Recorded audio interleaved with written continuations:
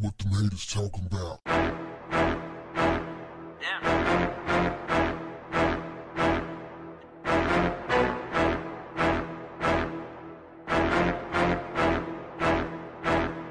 What's up, family? Before I go in, there's a little bell next to your subscription button. If you haven't done so already, go ahead and click on it so that you can get your notifications each time I drop a video like this one. Now, how can I say this? This is a video that will cover in some part discrimination, and I'm about to discriminate. This video is not for black people.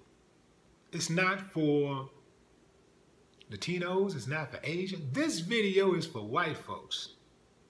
Now, why would I make a video exclusively for white folks?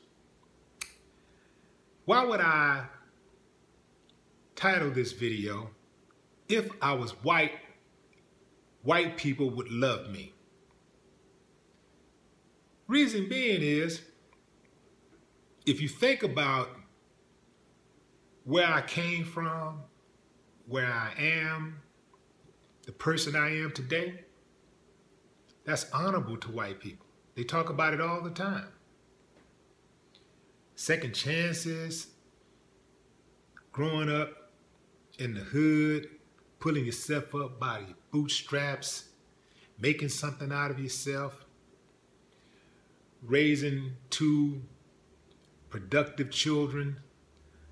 He has a son in business school in London who's on vacation working for him at one of his companies. He have a daughter in New York in law school. He protects his community. He protects his family. He provides for his family.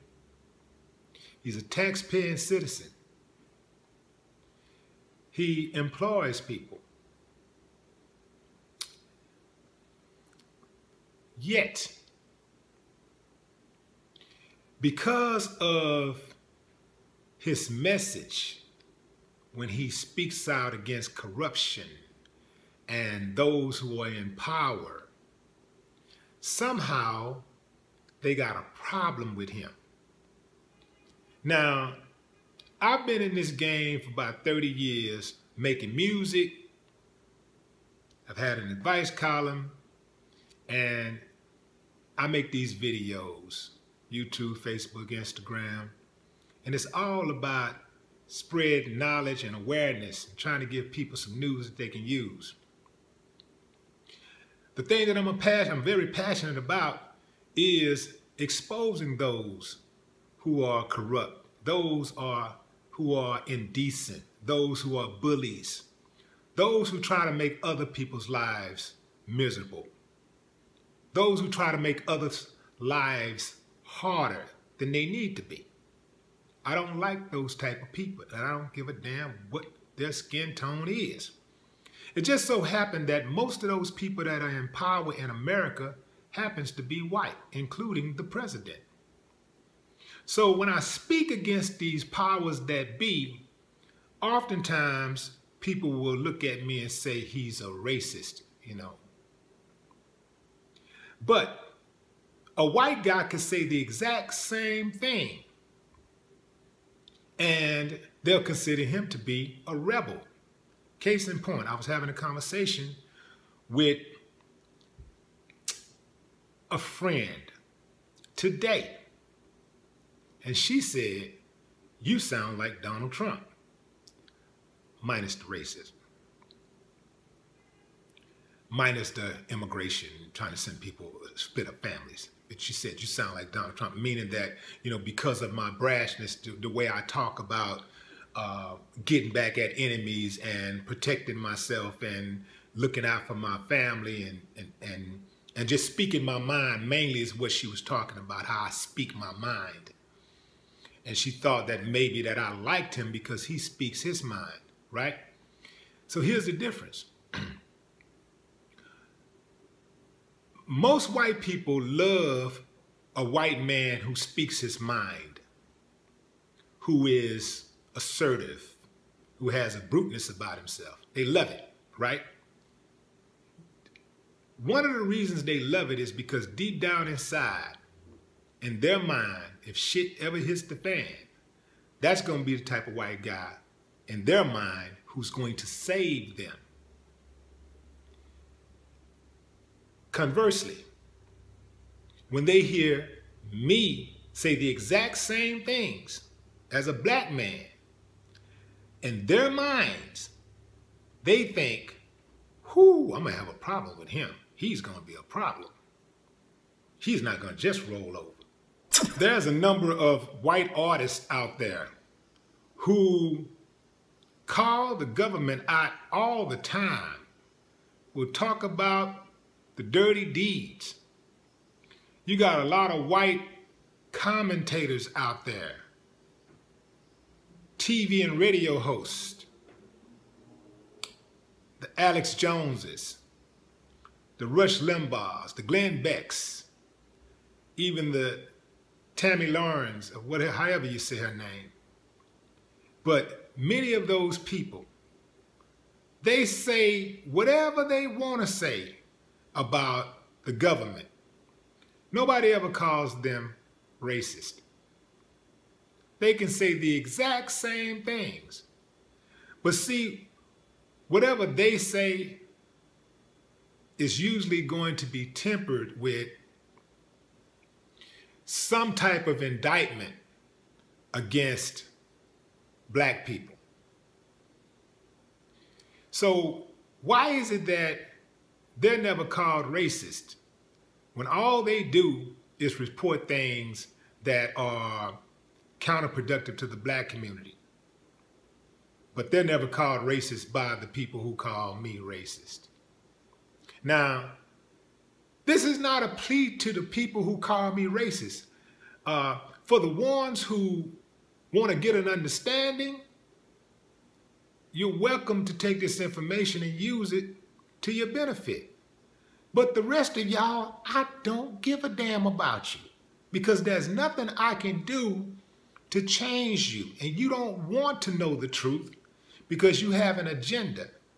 And your agenda is to see black people struggle, black people at the bottom, black people eliminated. That's your agenda.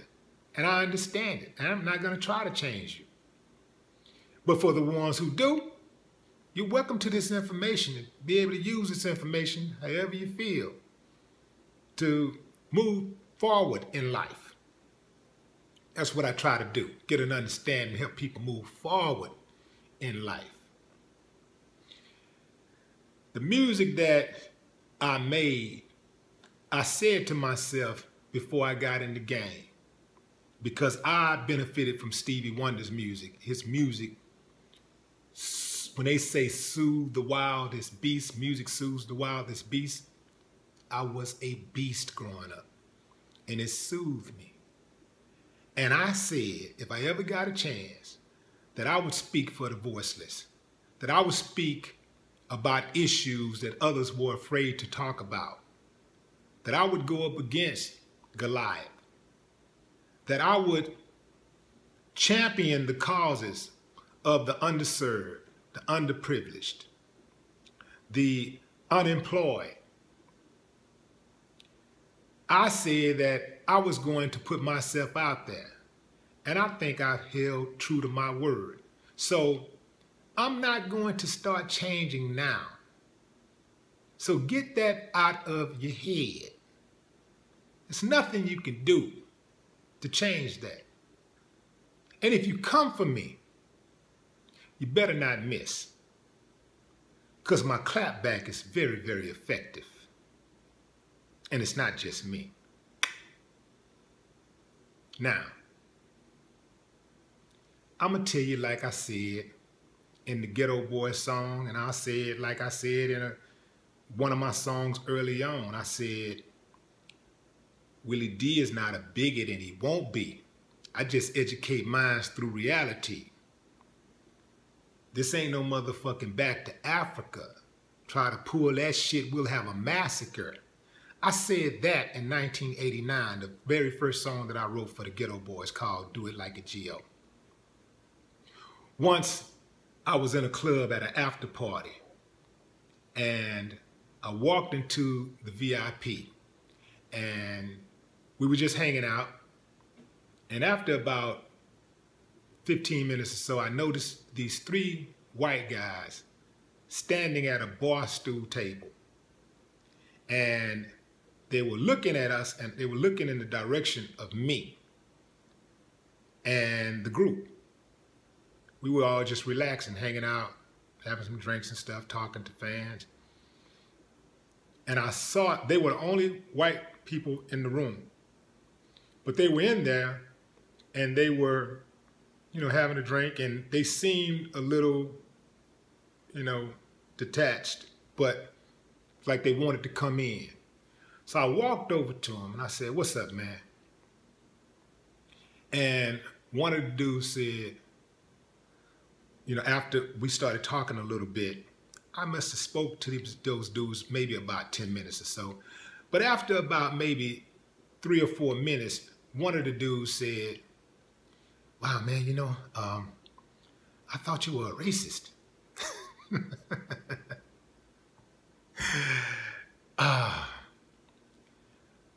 even though I've never, ever, ever said that. He said, I thought you were a racist because in some white people's mind, if you talk about the government, like I said, who is controlled by mostly white people, you talk about policemen and police brutality, who is oftentimes, uh, when black people oftentimes get abused by police, is oftentimes white people, then people just send, tend to put those two together and say, well, you're talking about that kind of stuff, then you must hate white people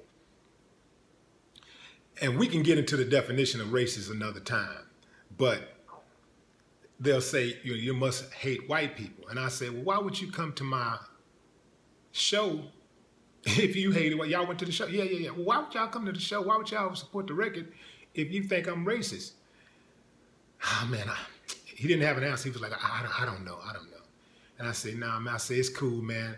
I love who love me, and I hate who hate me. And I say, you all right with me? I'm all right with you, you all right with me. And that's how I rock. So I'll leave you with what I said on another Geto Boy song at the end of a song called Eye for an Eye. In 1998, we released it on our Good, the Bad, and Ugly album. And this song was inspired by the hanging of, of James, um, what's his name? Uh, I can't, I'm tripping, I'm forgetting his name. Uh, James Byrd. The song was inspired by James Byrd. And who James Byrd was a black man who was hung, what was dragged on the back of a truck by three white men, white supremacists. And at that time, a lot of white people were blaming black people for not having jobs, even though white black people don't control corporate America. Corporate America is 70% white male Anglo-Saxon. I spoke on that. So they're mad at black folks. See, so you have these the real race baiters train white folks to and brainwash them to believe that everybody is the problem except white folks. So the white folks who really controlling and pulling all of the strings, they're pulling all of, all of the strings. They're the ones who are fucking it up for everybody. They're the blame, real blame for all of the problems. But that's too much like right to blame them. So they use the media propaganda, the media, the propaganda machine to pit Americans against Americans, black against white, black against Latinos, whites against everybody. You know, that's how they do. That's their game. So at the end of the day, if you fall for that and you really feel that way, then this message is for you. I'm not against all white people, but I am against all white people who is against me. Fuck all you motherfuckers. No more talk what, what the haters talking about. Yeah.